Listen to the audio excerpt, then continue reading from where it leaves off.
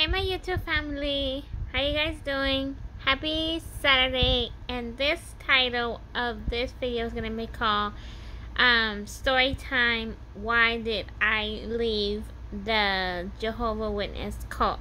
So I'm going to um, for those of you new, my name is Rosa and for those that have been around, welcome back everyone. Hello everyone. Um so I don't know if you guys remember me talking about um, me leaving the um, the organization of Jehovah Witness, um, the cult as everybody calls it. Um, I wasn't baptized into it, guys. I was just, um, you know, studying um, with a Jehovah Witness.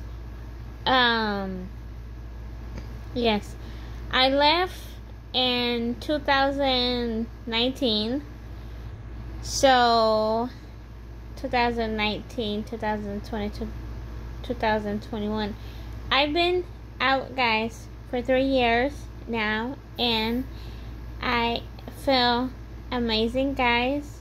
Um yeah. I feel amazing guys. I feel completely free. Um you know, I don't miss it at all, my friends. I don't miss it. Like, I'm free, guys.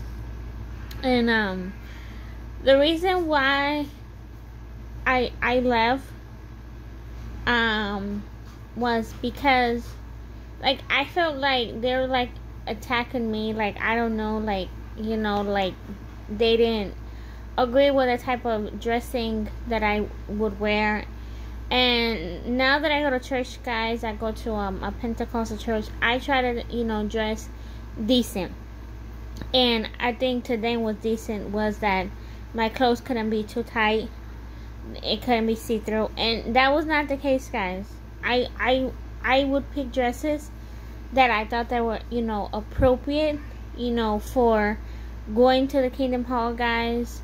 Um, and so I was like, okay, um, I never wear anything, you know, too tight. I make sure that I wear, you know, long skirts or long dresses that they show everything, you know, guys. So it was hard for me, guys, to find clothes, you know, dresses that, you know, didn't um didn't have like openings, like they weren't like V-neck types.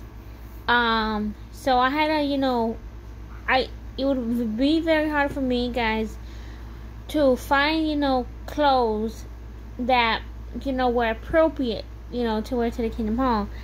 Um, and so I felt like, you know, there was a lot of, you know, like a lot of, you know, secret talk behind your back, and I really didn't like that. Like I rather for someone that is talking behind my back tell me in my face and I felt like they were talking about everybody, you know, anybody came in, the, you know, you would get looked at like, oh, who she is. And I really did not feel comfortable with, you know, with that, guys. So, um, they don't celebrate holidays, guys, and I'm, you know, big holiday person. I love, you know, celebrating Christmas, um, my birthday, you know, my niece and nephew birthdays, you know, Thanksgiving, 4th of July, um, Memorial Day, guys, um, Easter, you know, um, all that, you know, and they don't they don't celebrate it. They you know they they they they think you know it is is pagan. But also, guys, what what I don't get is that they celebrate graduation. Sorry, guys, they celebrate graduations and um they celebrate graduations and anniversary parties. No like no baptism parties, none of them. Um, they only celebrate graduation parties, anniversary parties, or you know weddings. That's it. And I'm like here like dumbfounded, cause I'm like you guys. That's like at graduation parties. It's kind of like the same thing like birthday parties.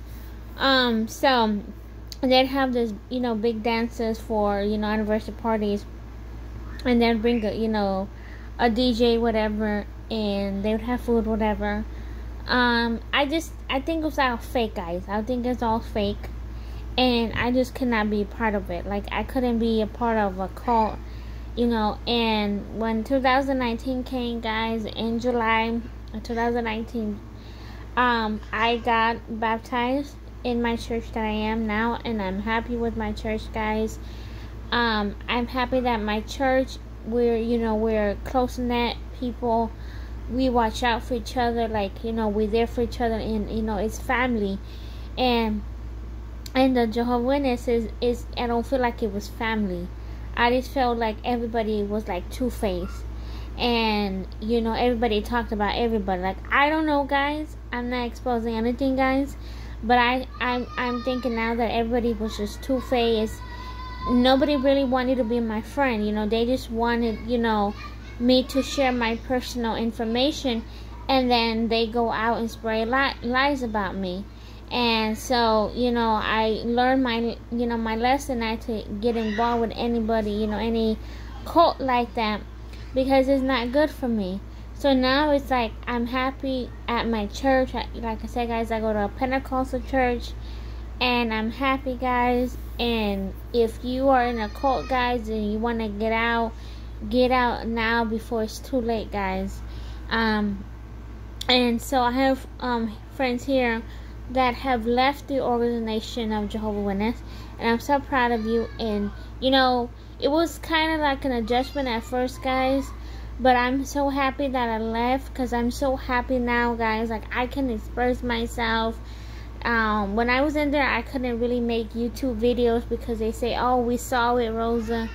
But now it's like I'm happy, guys. Um, I can, you know, they they they send me letters, guys. But you know what I do, guys? I'm gonna be honest. I rip them up. I don't read them because I, I don't want to be part of that anymore. Like that's how they get to you guys is that they know when you're weak and they could you know they say oh we feel when you're weak so we have to you know write you a letter.